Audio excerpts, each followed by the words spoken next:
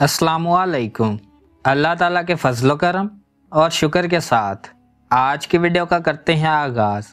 सबसे पहले आप हमारा चैनल हिस्ट्री विद दनान सब्सक्राइब कर लें। यहाँ पर आपको हिस्ट्री के रिलेटेड वीडियोस देखने को मिलती रहेंगी। आज हम बात करेंगे हजूर पाक सल्लल्लाहु वसल्लम की पैदाइश के वक़्त क्या हुस्न जमाल था। दिल को मुनवर कर देने वाला वाक़ देखते हैं। आइए वीडियो का करते हैं आगाज़। हज़रत हलीमा सादिया रज़ी अल्लाह तहा फरमाती हैं कि मैं जब मक्का मौज़मा में पहुँची और हजूर सल्लल्लाहु अलैहि वसल्लम के घर आई तो मैंने देखा कि जिस कमरा में हजूर सल्लल्लाहु अलैहि वसल्लम तशरीफ़ फरमा थे, वो कमरा सारा चमक रहा था। मैंने हज़रत आमिना रज़ी अल्लाह तहा से पूछा, क्या आप रज़ी अल्लाह तहा ने इस कमरा में बहुत से चिराग जला रखे हैं? तो हज़रत आमना रज़ी अल्लाह तहा ने जवाब दिया, नहीं, बल्कि यह सारी रोशनी मेरे लखते जिगर, प्यारे बच्चे के चेहरे की है।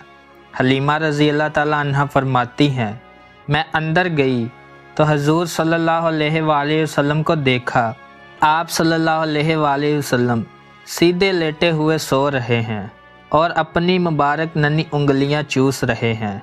मैंने आप सल्लल्लाहु अलैहि वसल्लम का हुस्न जमाल देखा तो फरेफ्ता हो गई और हजूर सल्लल्लाहु अलैहि वसल्लम की मोहब्बत मेरे बाल बाल में रच गई। फिर मैं हजूर सल्लल्लाहु अलैहि वसल्लम के सरे अनवर के पास बैठी और हजूर सल्लल्लाहु अलैहि वसल्लम को उठाकर अपने सीने से लगाने के लिए हाथ बढ़ाया। तो हजूर सल्लल्लाहु अलैहि वसल्लम ने अपनी चश्माने मुबारक खोल दी और मुझे देखकर मुस्कुराने लगे।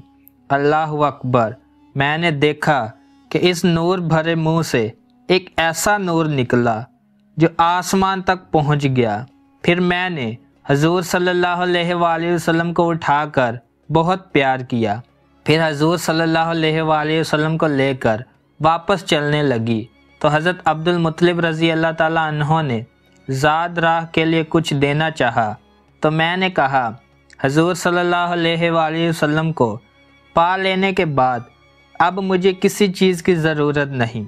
हज़रत हलीमा रज़ी अल्लाह ताला फरमाती हैं, जब मैं इस नेमत अज़मा को गोद में लेकर बाहर निकली तो मुझे हर चीज़ से मुबारकबाद की आवाज़ें आने लगी कि ए हलीमा, रज़ात मोहम्मद सल्लल्लाहु अलैहि वसल्लम की तुझे मुबारक हो।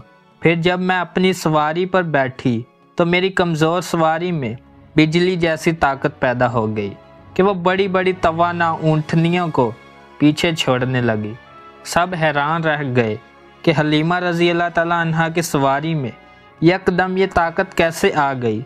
तो सवारी खुद बोली, मेरी पुश्त पर अव्वलिनो आखरीन के सरदार मोहम्मद सल्लल्लाहु वसल्लम सवार हैं।